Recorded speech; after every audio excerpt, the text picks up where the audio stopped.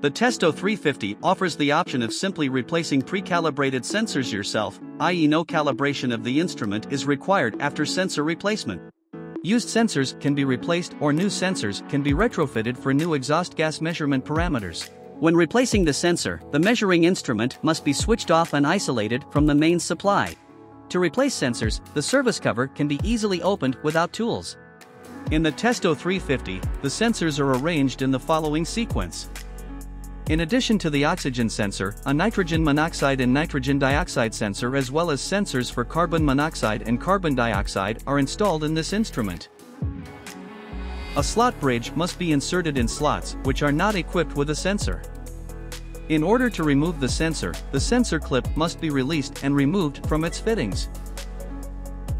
Then disconnect the two hose connections from the sensor.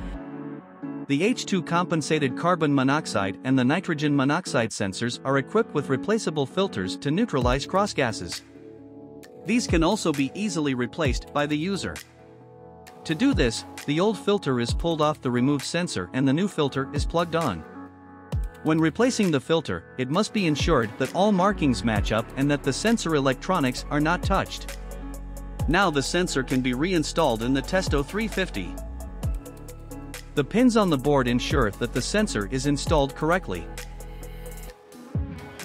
The sensor is simply plugged back onto the slot and connected to the hoses. The clip is then inserted into the fitting. Finally, the service lid is inserted. After changing the sensor, the measurement can be started immediately without a new test gas adjustment.